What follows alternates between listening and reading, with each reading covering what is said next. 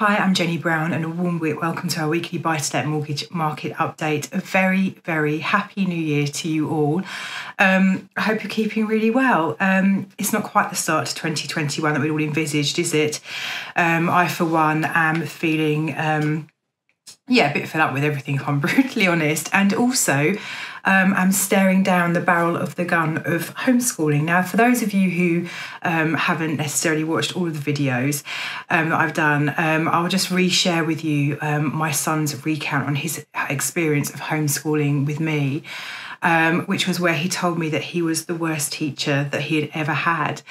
Um, so my poor child is now going to be um, exposed to six weeks at least of me trying to homeschool him. So um, yeah, absolutely good luck to every single other parent who's in the same boat as me. It's really not easy, particularly when you're trying to juggle um, a full time job as well. And I only have one child, so you know I know that I'm much better off than many of you. So good luck. In terms of um, the market and what we've seen since we've returned back from Christmas, the lender activity has actually been remarkably quiet.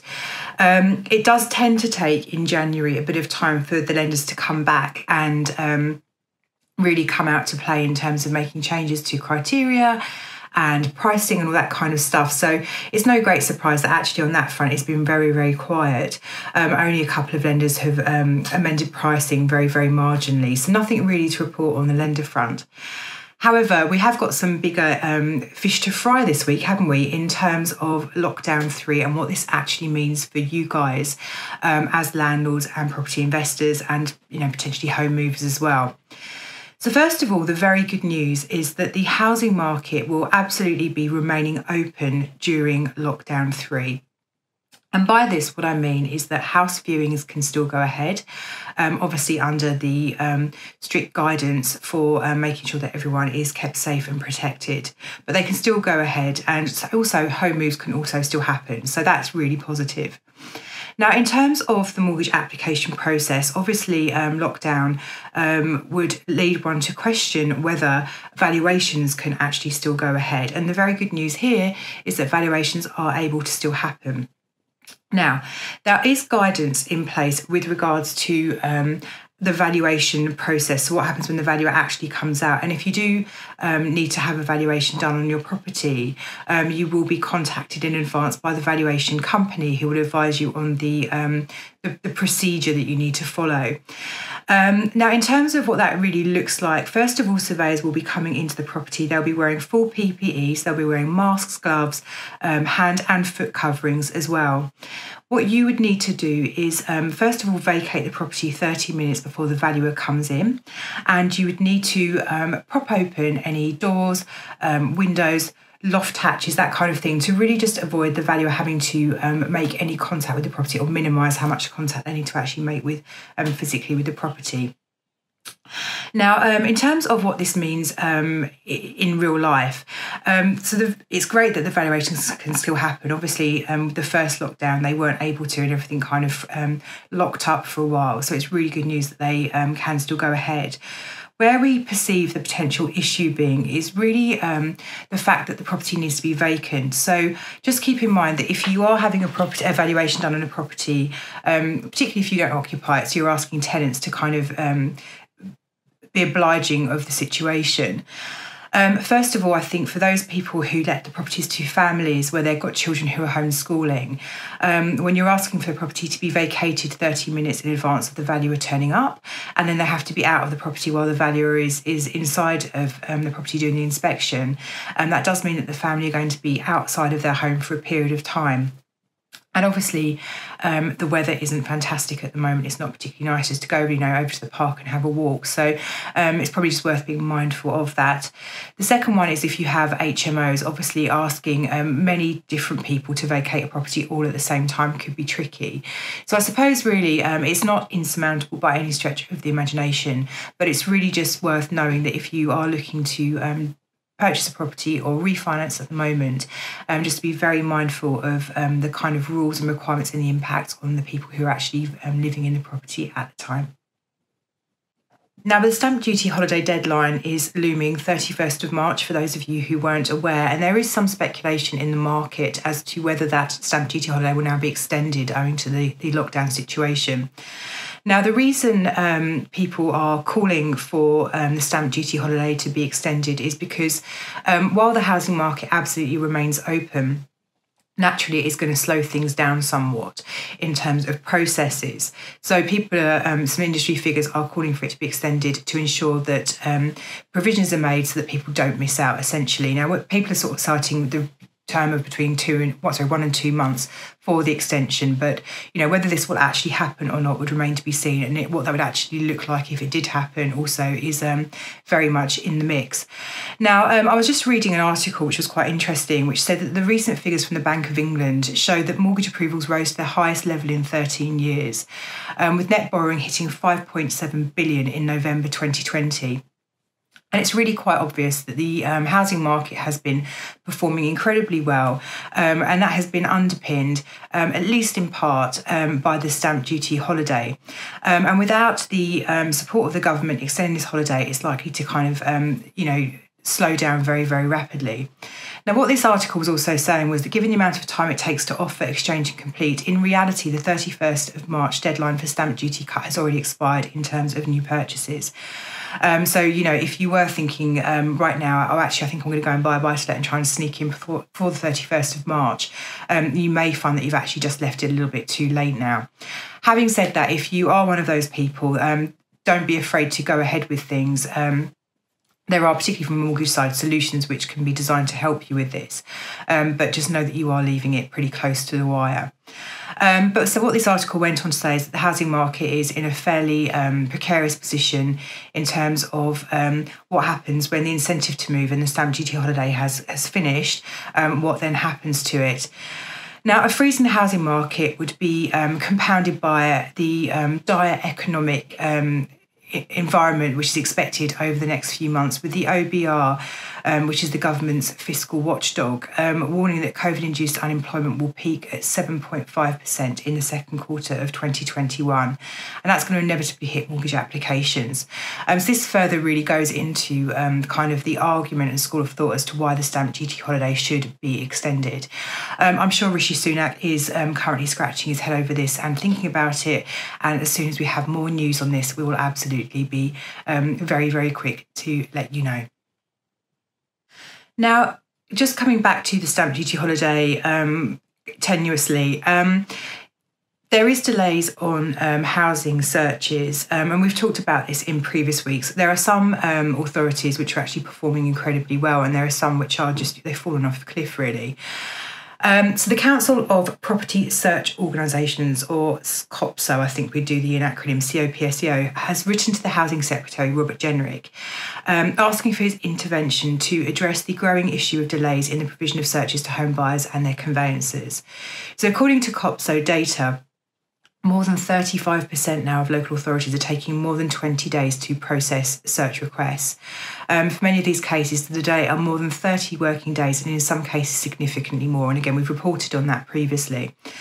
Um, these delays are now impacting the progress of transactions, and thus the problem requires immediate attention. Now, um, I guess really this just comes back to in terms of what this would mean to you. If you are thinking about um, acquiring a property, you're looking to sneak in before the end of the stamp duty holiday deadline, um, and that doesn't get extended beyond the 31st of March, um, it's worth just speaking or doing a check with the local authority to understand how long their searches are taking, um, because you know this could literally be the thing that kind of decides whether you are able to complete in time for the stamp duty holiday or not. Um, we do have access to um, some very good data at Mortgages for Business. So if you are um, looking to find out more about that, please do just give us a call. We'd be very happy to um, give you the information that you need to um, understand where this would impact you personally.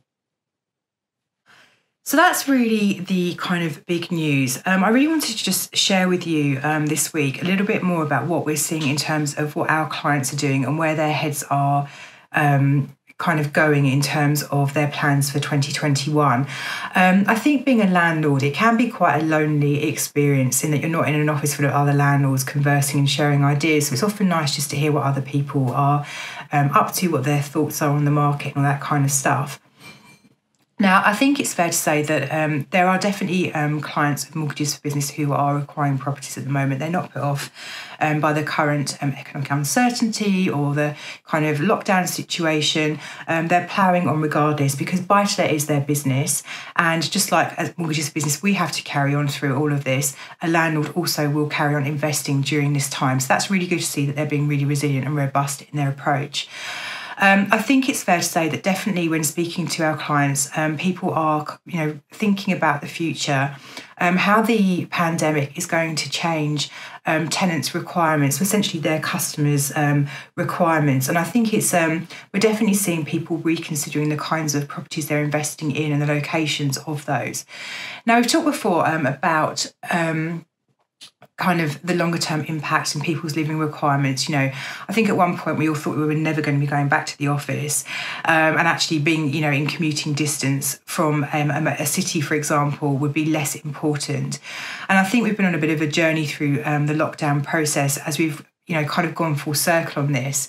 And actually, a lot of people who, are, to begin with, were very, very excited about the prospect of never having to go to work again, um, actually were very, very happy when they were called to go back into the office and actually spend time, you know, interacting with their peers and going through a more traditional working day. And I think realistically, um, of course, there will be some companies who just don't have a return to office policy. But I think actually most businesses will be expecting employees to come back, you know, in the future when we're able to do so. And so, yes, I think it's worth just thinking about when you're investing property, you know, um, does it provide a kind of a certain type of lifestyle that people are more interested in, more green space, more parks? Um, you know, does it have a second bedroom to allow for working from home if that's the, the kind of want of the um, the tenant? Um, but actually, I wouldn't be entirely put off from investing in city locations either, because, like I said, I do think there will be a return to the work working um, environment in the future. But also, I think it's really important to note that you know, actually, um, you know, just because I'm really boring and am settled and don't particularly want to go to the pub every night, um, not everybody's in that same situation. Actually, there is a whole still a raft of you know young people who still want to experience that city um, life, you know, and the kind of buzzy environment that affords. So I think you know, actually, things aren't going to be quite as black and white in terms of um, housing requirements in the future. I think things are going to go back more towards um, pre-COVID as time um, evolves. We're also seeing a large number of clients um, very much reconsidering their financial position. I think it's fair to say that some people are um, definitely holding off investing at the moment because they're thinking the property market is frothy. Um, there's no escaping that fact. You know, we've been reporting on it for God knows how many weeks now, um, but they are expecting things to calm down and, you know, house prices to ease off slightly. So um, there are definitely landlords who are just kind of sitting back and biding their time, but what they are absolutely doing in the meantime is shoring up their position to be um, ready with cash available to be able to go and buy property when the market calls and the right opportunity arises. And so, what we've definitely seen at Mortgages for Business is a notable increase in people who are um, looking at their portfolio, doing portfolio reviews with us. We've seen a real surge in portfolio reviews at the moment, where we comb through the portfolio, we look at where we're able to extract equity from the properties to give our clients a deposit to go off um, and be ready to invest in a good investment when it occurs.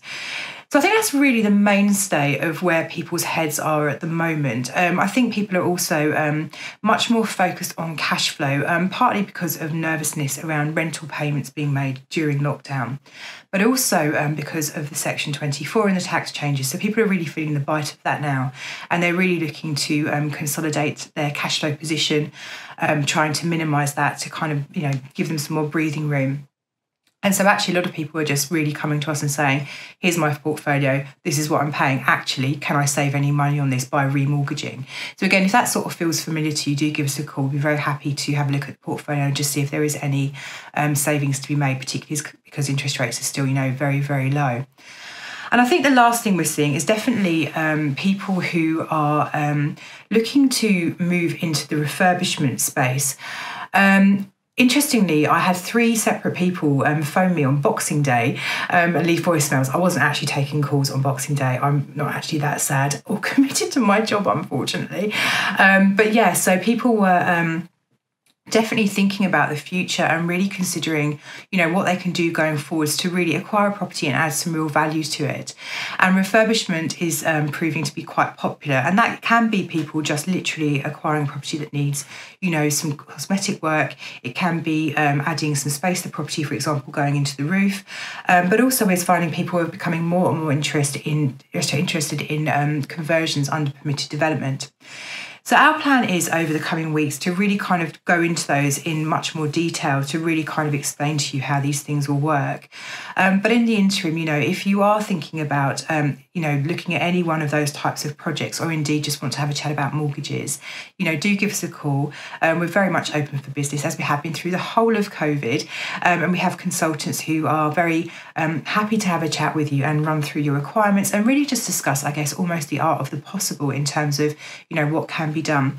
So do give us a ring 0345 345 6788. Have a look at our website. It is absolutely chock a block with information, case studies. The case studies are really, really popular with people. It just really sort of gives you an insight into what other people have been up to. Um, and I think, you know, deep down, we're a bit nosy by nature, aren't we? I'm just speaking for myself here.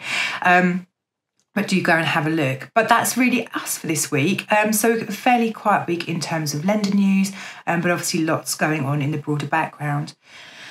So until next week, do look after yourselves, stay indoors, wash your hands, and all that kind of stuff. But most importantly, just look after yourselves. And for those parents who um, are homeschooling, just make sure that you have a really big stash of wine in your cupboards. See you next week.